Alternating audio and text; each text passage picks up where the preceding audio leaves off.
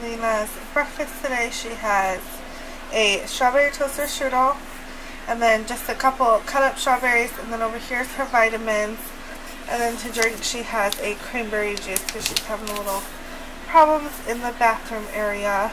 We use the new bubble bath and I think she has like a bladder infection so that is what she is having today. Alright, we are having what I call Chunky Monkey Pancakes. They are just instant pancake mix with mini chocolate chips and banana cut up in it. And then we have some maple turkey sausage on the side and syrup. That is what we're having for breakfast.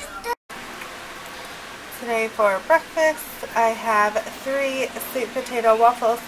Um, I make them with a fourth of a cup measuring cup, so I have three of those with a little bit of some syrup. And I'm drinking my smart water and cleaning my drink drawer out.